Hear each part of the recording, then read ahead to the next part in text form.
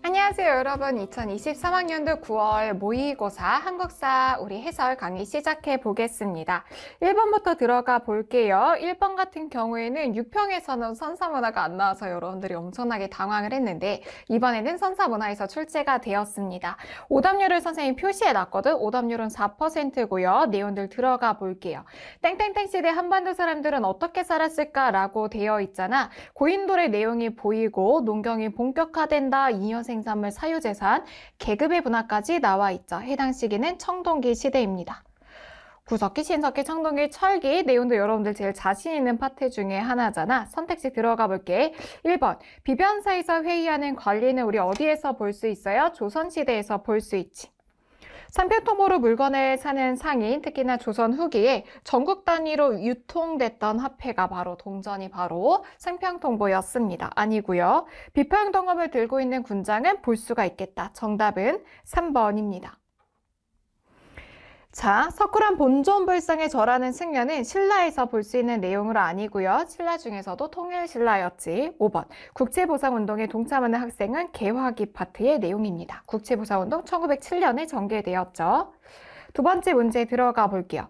다음 시무책에 제출된 나라에 대한 설명으로 옳은 것은 정근대사 파트는 보통 고려 시대까지는 정치사랑 문화사를 중심으로 해서 나오는데 정치 파트에서 나왔던 문항이고 굉장히 오답률이 높았어. 여러분 75%의 학생들이 틀렸다라고 하는 건 엄청나게 어려웠다라고 하는 걸까? 그건 아니었어. 사실 이거 선생님이랑 개념 완성 강의에서도 9시간의 기적에서도 굉장히 많이 다뤘던 건데 조금만 깊게 들어가도 못 푸는 친구들이 발생한 거야. 그리고 선택지 자체가 느낌적 느낌으로 풀 수 있는 내용들이 아니라 전부 다 한 개를 제외하고는 시기적으로 정근대사의 조밀하게 몰려 있고 여기에 또 지방행정구역과 관련된 내용이어서 여러분들이 좀 어렵게 느꼈던 거지.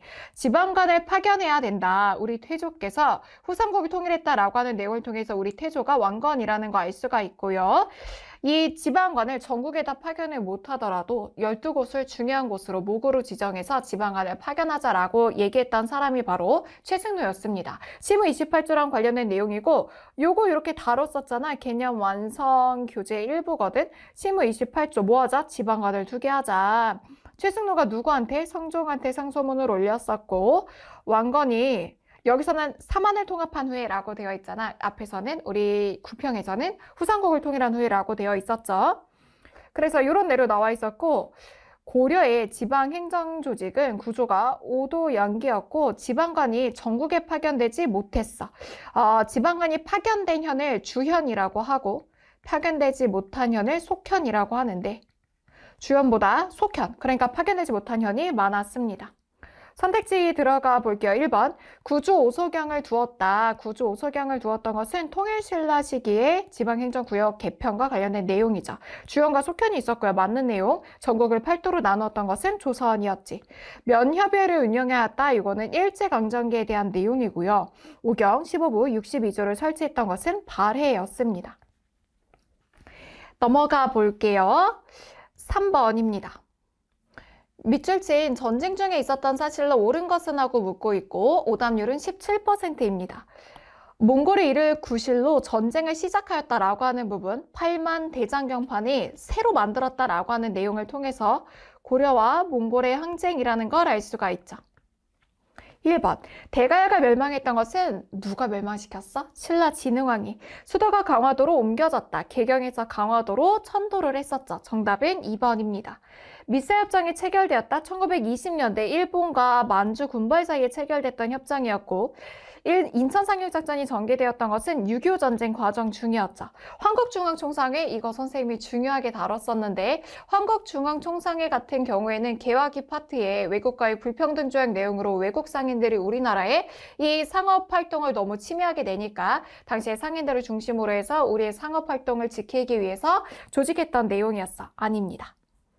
다음 문제 넘어가 볼게요. 이 문제는 선생님이 9시간의 기적 파이널 모의고사에서 똑같이 동영으로 출제돼서 완전 적중한 문항이었어. 오답률 27%. 임신서기석이고 가해 젊은이들이 나라를 위해 힘쓸 것과 유교경전을 열심히 공부할 것을 맹세했다라고 하는 내용을 통해서 신라 임신서기석, 신라에서 유학교육이 이루어졌다라고 하는 걸 보여주는 내용이었죠. 선생님 final 모의고사에서 어떻게 다루고 있는지를 봅시다.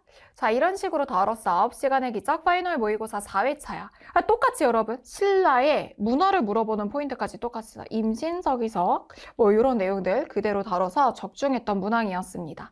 자, 신라는 1번. 국학을 두었다. 정답은 1번이네요. 신흥강습소를 세웠던 것은 신민회였고, 신흥무관학교, 신흥강습소, 원산학사를 설립했던 건 1883년에 원산학사를 설립하죠. 유경공원은 정부에서 양반 자제들과 관리들을 대상으로 해서 1886년에 세웠어.